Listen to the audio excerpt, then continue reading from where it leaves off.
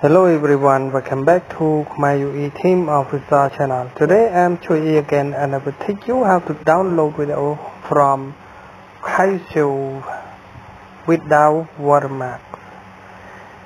First, we need to go to the Play Store if you are using a Google Play Store or if you are using an iOS or also support with uh, that apps also.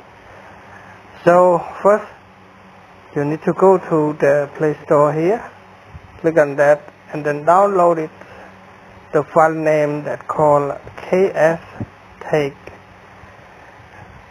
Okay, now you will see this. This this for the Kuaishou video downloader. So go ahead and download this app here and wait for Subfusican to download.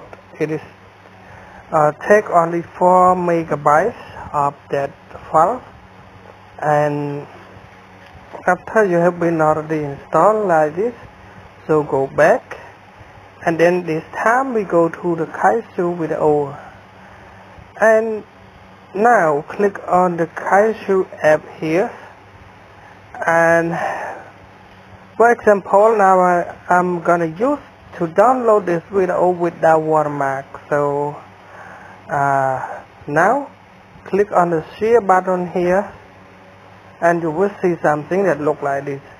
So go ahead and then select on copy link.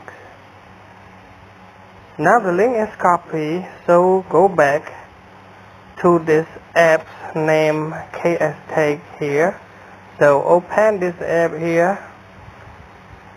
And this app is not uh, limit any time or uh, the number of video because uh, it is free but you need to watch every ad or every download for every download. So the thing that we gotta do click on allow here and it look like it's starting like this and wait for it and make sure that your internet connection is working.